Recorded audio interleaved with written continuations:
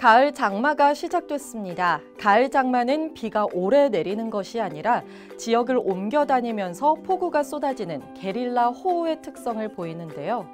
물의 높이가 갑자기 불어나 고립되는 경우가 많으니까요. 방파제나 갯바위 낚시 하실 때 안전사고에 주의하시기 바랍니다. 먼저 목요일 바다 낚시 지수 보시죠.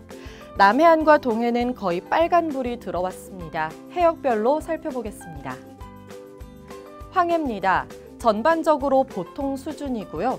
가거도는 파도가 1m를 넘으면서 지수가 내려가겠습니다.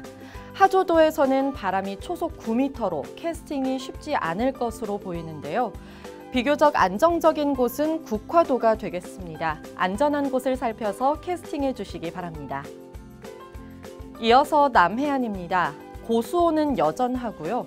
남해안은 물결이 심상치 않습니다.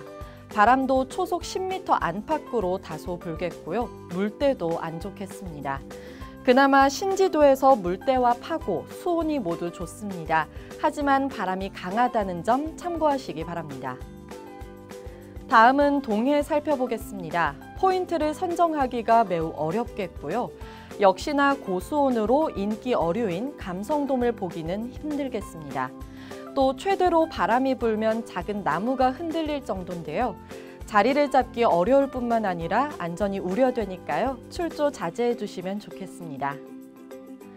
끝으로 제주입니다. 전체적으로 해안가로 불어오는 바람이 강한 편입니다.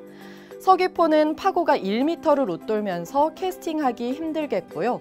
추자도에서 냉수대로 수온이 약간 아쉽지만 다른 어종으로 기대해 볼만 합니다. 가벼운 마음으로 즐겨주시면 좋겠습니다.